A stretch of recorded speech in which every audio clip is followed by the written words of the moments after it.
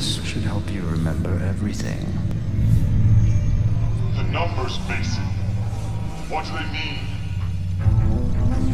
Everything you know is wrong. Your life will be consumed by absolute loss. He doesn't need his own weapons. He's got ours. They'll always need men like us. Our greatest barrier is our own fear. Our own doubts.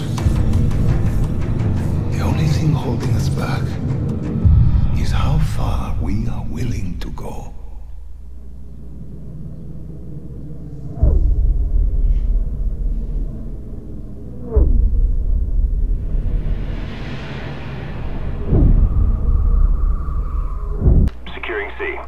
Yo, what is up, everybody?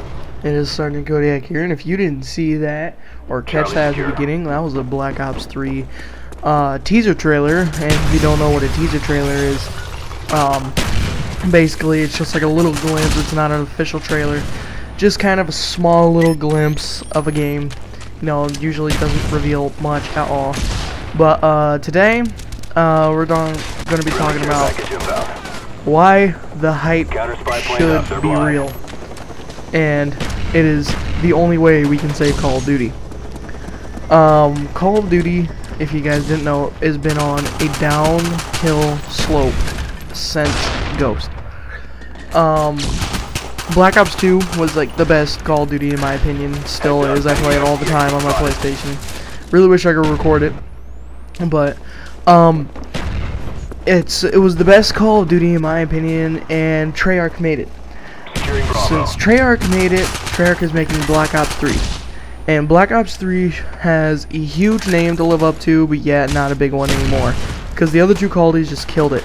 And it was because of the hype. I meant to say not hype. Not hype. I'm sorry. But it's the hype that killed it, is because we gave so much hype to the game that they were so confident that their game was going to completely oversee every game in like the history of gaming that they gave us crappy games. Granted, Advanced Warfare isn't bad, but Ghost was horrible. Ghost was, I think, a pretty high pre-order game. It was one of the highest, if I'm recalling, because it had the reputation of Black Ops 2 to live up to. And, sorry, Enemy care package and, uh, yeah. So, if we don't got if just don't pre-order the game and don't try to hype up the game too much. Yes i'm very hyped for it i'm excited for it but i'm not pre-ordering it. Um or i might uh, maybe i don't know. Probably not. but um the reason why we shouldn't pre-order it is because it gives them sales because they give us a crappy game. We've already gave them their money. Uh, we, yes, we can bring back the game stores, but they're gonna give you your normal like trade-in value probably. Uh, maybe they might give you a full refund with receipt. Maybe I know my place down here will because they're awesome. But anyway, another thing is, all you people that came here for Black Ops 3 leak, I have misled you. Now, before you click away, please listen. You guys, I'm not trying to offend anybody, but you guys are being really stupid by believing that they would allow leaked videos. Any video that gets that has package on the way. truly leaked information will be taken down and probably have someone's channel terminated. Such as a while ago, I remember that guy who camps. If anybody remembers him anymore, he's not very active. He used to be really cool. But, um, coordinates receive, firing for he- Uh, well, he got uh, his video taken down because he guessed something correct and it was technically leaked. And so yeah, all you guys that came here for the Black Ops 3 leaked, nothing is here. Um, we should stay for the rest of the video anyway because I have another good points about the game. Um. Yeah, so, about the game now, my points. Uh. I heard that that people are kind of flipping out because there is a sort of exosuit And it's mission. supposed to Get 'em outta be like a, just a robotic suit or something like that. But um, it's like people just don't need to worry because Treyarch is gonna do it right. Hopefully, hopefully they can learn from uh, uh, Sledgehammer's mistakes. If it was my choice, we would have no exosuits at all. I'd take them out of Advanced Warfare, only standard playlist. But um, yeah. And people are, freaking out about it.